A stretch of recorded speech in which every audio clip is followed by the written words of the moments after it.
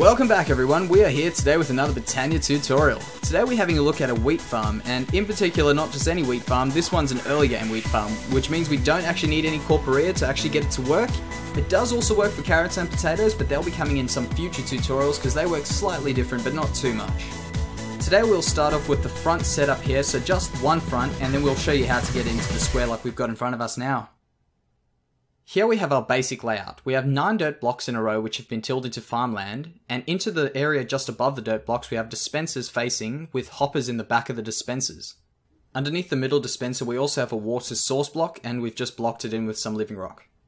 Now we have to make the circuit for the minecart to run around, so if we go out one extra block backwards just so that the redstone doesn't mess with the hoppers, we can go and put a rail all the way around with some powered rail at the back and a redstone block in the middle. The reason I use the hopper minecart is because it seems to be the easiest early game way of getting your items to distribute evenly. The other way would have been using Corporea, but that's definitely a bit later in the game. Now we can drop our hopper minecart down and make sure that goes around in circles.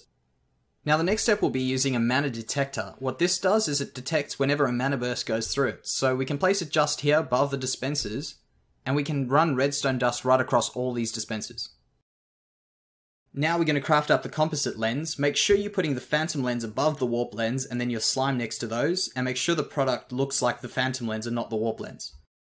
Then we jump out of that and place our mana pool down. On top of the mana pool we place a redstone mana spreader, and we place a drum of the wild on top of the redstone mana spreader. Now put your lens on the redstone mana spreader and face it up into the drum of the wild.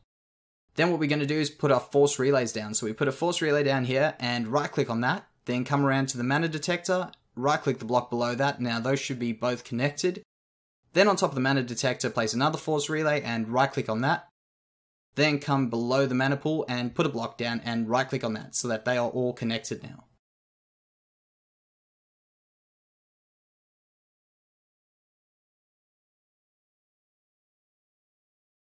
So we go ahead and put our open crate above the rail wherever we want on the back here, and next to the open crate we place our hopper hock with a chest on the other side of the hopper hock. Place item frames on each of those, and on this one here with the open crate, place the seeds, and on the one with the chest, place the wheat. Then all that's left to do is we go ahead and plant our seeds down, and we can just give it a test, so drop these seeds, and they should get picked up by the hopper hock and dropped by the item crate. Then we can have a look in these dispensers, and you'll see that each time that the hopper minecart comes around, it gives us one seed, so these are going to be distributed to each of the dispensers evenly. Then go ahead and place some agricarnations around the farm. I recommend at least one agricarnation to speed things up a bit, and if you do use one, you'll need a hovering hourglass with 35 minutes in the hovering hourglass, so that'll be 35 soul sand in that. Here is the layout for the larger farm. You'll notice there's actually a few differences. The first one is that the mana detectors have moved one block to whichever side you've put them on.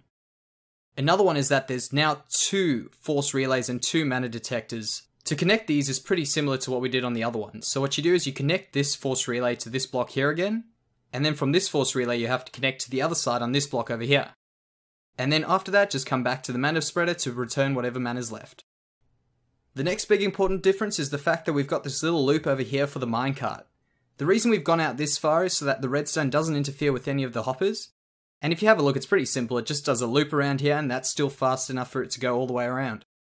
Also, we mustn't forget to put the open crate above the rails so that the hopper minecart will be able to pick up all the seeds. There's two last little minor changes. I've added an extra drum of the wild so that we make sure we break up as many of the crops as we can.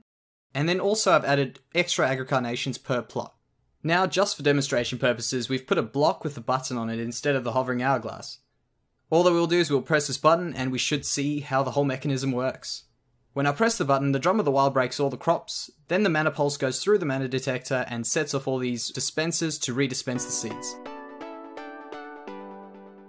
If you guys did find that useful or enjoyable, please do leave a like. Also, stay tuned, we're going to be showing you how to make a cake farm and this big monster in front of us. Thank you, and I'll see you next time.